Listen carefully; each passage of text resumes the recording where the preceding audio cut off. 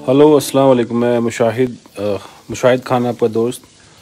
और जो मेरी स्क्रीन पे आप देख रहे हैं, ये एक नौजवान बच्चा है, और इसका नाम आसिफ है और गाज़ियाबाद का ये रहने वाला है। पिछले तीन सालों से ये बेड रेस्ट पर है, क्योंकि इसका तीन साल पहले एक्सीडेंट हो गया था एक दिल्ली में, और तब से आज तक ये चल नहीं सकता। व्हील चेयर का सहारा लेके चलता है, और हालत ये हो गई कि इसके पैर सब बेकार हो चुके हैं। मैं इसके इसके पिछले हिस्से में जख्म है लेकिन मैं आपको दिखा नहीं सकता। ये जो पीछे का नीचे का हिस्सा है पिछले तीन साल से ये बेड रेस्ट पे तो उस पर जख्म हो गए हैं। वो भी जख्म इतने गहरे कि जब तकलीफ़ होती है तो सह सहन नहीं कर पाता। क्या काम करते थे आसिफ आप? का काम करते सैलून का। सैलून का काम करते थे आप। ये बार बार शॉप चलाते थे ये सैलून का काम करते थे। एक्सीडेंट से ठीक एक साल पहले आसिफ की शादी हुई थी शादी हुई थी। और आसिफ को क्या पता था कि एक साल के बाद ज़िंदगी बद से बदतर हो जाएगी। और आज तीन साल हो चुके हैं। तीन साल से ये चल नहीं सकता। बेटा उठ के दिखा सकते हो किस कैसी कंडीशन है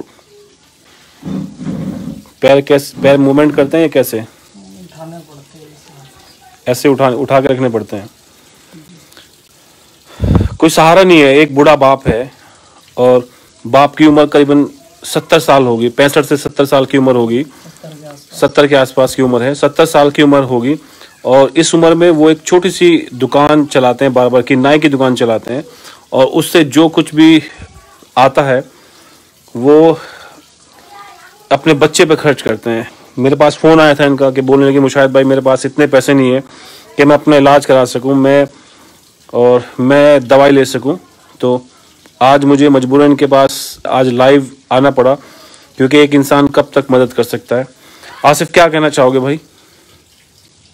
बस ये मेरी परेशानी ख़त्म हो जाए और बार बार किसी से ना कहना पड़े, बस अल्लाह ऐसे ही इसको ख़त्म कर दे और दुआओं की भी सबसे दरख्वास्त है कि दुआ करें, चल सकूँ।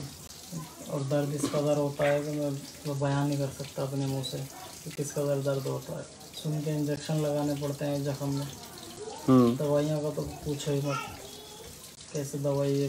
बस गर्मी इस- करती है लेकिन मजबूरी है खाने की। अभी भी आपने लोकल दवाई कुछ खाई थी? आपके इन्फेक्शन हो गया था पूरे पैरों में आपके खून निकलने शुरू हो गया था। दाने दाने दाने दाने पूरे पैरों में हो गए थे।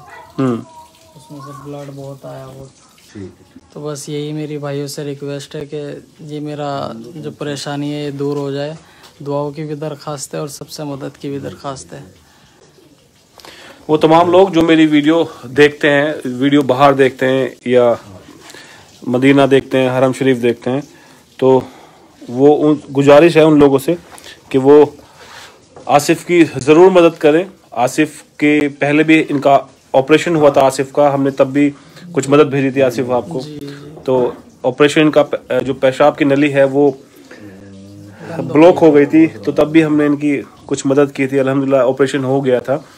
अब दोबारा से इनकी जो जख्म है और इनके जो पैर हैं, वो आ सकते हैं, लेकिन उसके लिए इनको ज़रूरत है कुछ पैसों की।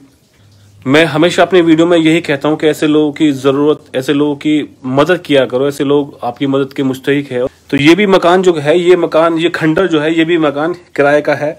आसिफ के पास में इतनी, इतना पैसा नहीं है कि वो अपना इलाज करा सके। तो आसिफ की मदद कीजिए अगर आप कर सकते हैं तो। ये आसिफ है। और